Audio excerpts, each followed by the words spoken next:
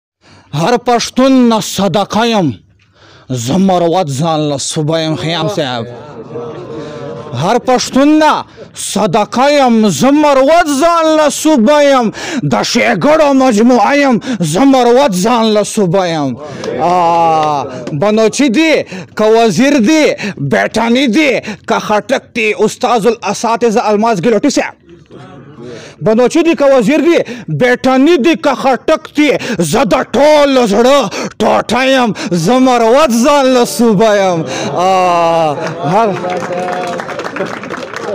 بنوچي دی که وزیر دی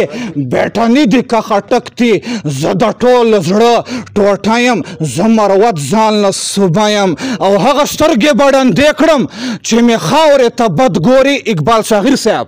هغه هغه سترګې به ړندې کړم چې مې خاورې ته بد ګوري ارته غلی یم حمله یم زه مروت ځان له صوبه یم هغه سترګې به ړندې کړم چې مې خاورې ته بد ګوري ارته غلی یم حمله یم زه مروت ځان له صوبه یم قربانۍ مې دې ورکړې تاریخ ما باندې ګواه دی فاروق اباخیل صاحب قرباني قرباني مې دی ورکړې تاریخ ما باندې ګوا دی ځلند ستوری یم ښکاره یم زه مروت ځان له صوبه یم چې مې چې مې زیان رسوي ځان ته چې املاک مې زوبلوي څوک ګورکه صاحب